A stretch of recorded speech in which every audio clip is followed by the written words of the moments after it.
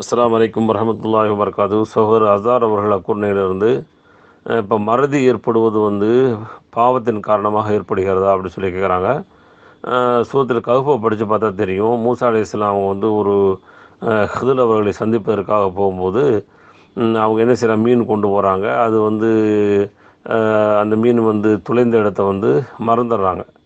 அப்போ அந்த வாலிபர் சொல்லும்போது ஒமா அன்சானிஹு இல்லை ஷேத்தானும் அன் அது குரா அப்படியே சொல்கிறாரு இந்த மாதிரி எனக்கு இந்த மருதியை ஏற்படுத்தது நினைவு கூறுவதை விட்டும் சைத்தான மாதிரி செஞ்சிட்டான் அப்படிங்கிற மாதிரி சொல்லக்கூடிய செய்தியை பார்க்குறோம்.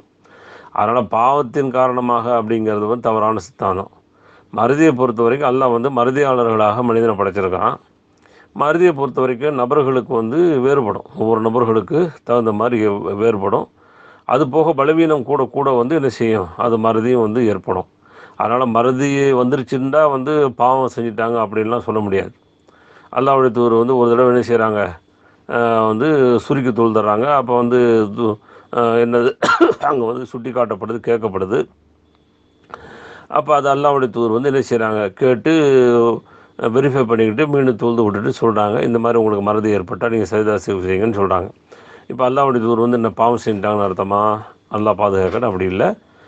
அல்லாவுடைய ஏற்பாடு அவ்வளோதான் அல்லா ஒவ்வொருவருக்கும் எவ்வளோ வந்து ஞாபக சக்தி கொடுக்கணும் எவ்வளோ மறதி கொடுக்கணும்னு சொல்லி அல்லா என்ன நிர்ணயம் பண்ணியிருக்கிறானோ அதை அடைந்து கொள்வார்கள். அப்படித்தான் வழங்கிக் கொள்ள வேண்டும். அல்லாஹ் மிக மருந்தவன் ஜமாதின் ஃபாஸ் அஸ்லாம் அஸ்ஸலாமு அலைக்கும் வரஹமத்துல்லாஹி வபரகாத்.